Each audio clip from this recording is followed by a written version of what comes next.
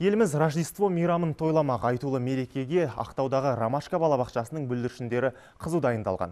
Мұнда еліміздегі жалғыз мектепке дейінгі балалардың ассамблеясы жұмыс істейді. Балақайлар Қазақстанда тұратын түрлі халықтың әнін шырқап биін билемек.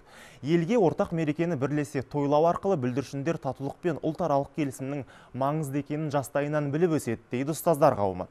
Балдырғандардың дайындығын көріп қайтқан тілшіміз Гүлмира Әбішева әңгімелейді.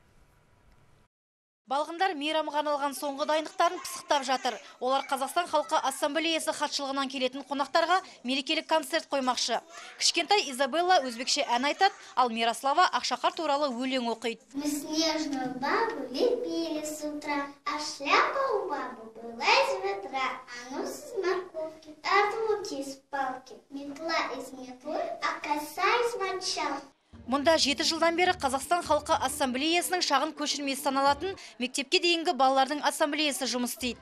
Құрамында 300 бала бар ассамблея мүшелері өзге халықтардың ұлттық киімдерін және тағамдарын зерттеумен айналысады. Тарихы мен мәдениетін танып біледі. Түрлі ойындар ойнату арқылы балалардың бойына отанды сүю, көршімен тату болу, қол ұшын беру сияқты адамгершілік құндылықтарын сіңіруге тырысамыз дейді тәрбиешілер. Дети, знакомясь с обычаями и Біздің балалар тек Рождество емес, елімізде тойланатын барлық мерекенің мағынасын жақсы білет. Әсіресе аймақта тұратын халықтардың әнін айтып, бейін билеуге құмартып тұрады. Рождество мейрамын өткізген соң әз наурызға дайындық басталады.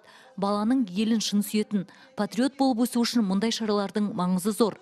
Мұнда балалар өзге ұлттардың мәдениетін ғана емес тілін де үйренеді. Балабақша бүлдіршіндері қазақ, орыс және ағылшын тілдерінде еркін сөйлейді.